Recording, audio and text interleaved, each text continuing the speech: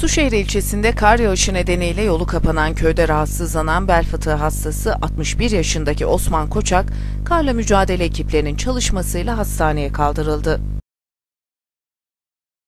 İlçe 35 kilometre uzaklıkta bulunan Karacaören köyünde yaşayan Osman Koçak, ağrıları artınca 112 acil çağrı merkezini arayarak yardım istedi. Ambulansla hareket eden sağlık ekipleri kar yağışı nedeniyle yolu kapanan köye ulaşamayınca ilçe özel idaresinden iş makinesi istedi.